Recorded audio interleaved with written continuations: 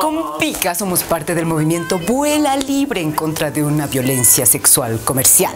Vamos a conocer a una chica genial. Ella es voluntaria de este movimiento. ¿Qué hace? Vamos a ver. Hola Pica, mi nombre es Mariela Portugal. Soy parte de la campaña Vuela Libre.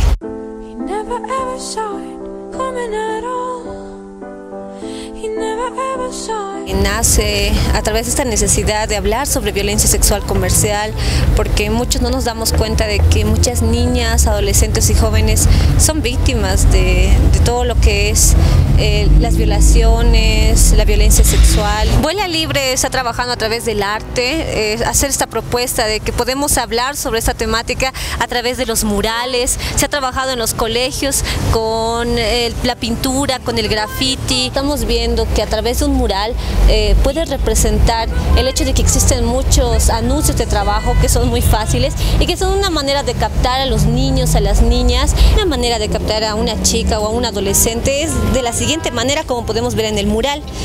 Ah, eh, por ejemplo, te preguntan, hola, ¿quién eres?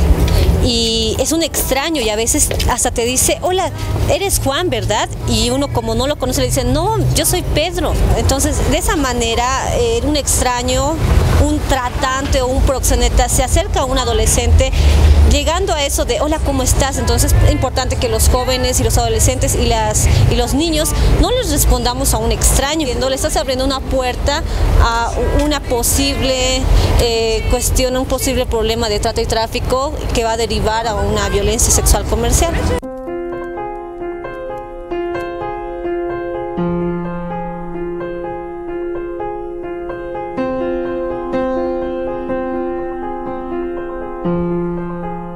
Recuerdo que una vez leí en un periódico, porque hablar sobre el tema de violencia sexual comercial es algo que te cambia la vida, recordaba cómo un adolescente contaba su experiencia de ser víctima de, todo este problema y, no es fácil. Por ejemplo, cuando un adolescente llega a, este lugar que realmente es horrible, la gente que te capta, la gente que te, te intercede, que que te hace esta violencia, conoce a tu familia y es difícil salir porque te chantajean con el hecho de que van a lastimar a, a tus hermanos o a tu mamá y cuando un adolescente está en este lugar realmente se siente entre la espada y la pared. Es importante que como niños, como adolescentes, como jóvenes, nos demos cuenta de que esta realidad nos puede pasar, de que hay amigos, amigas a quienes ya les ha pasado y que callarlo no es la solución, hay que denunciarlo y si a veces las autoridades o las instancias no nos hacen caso,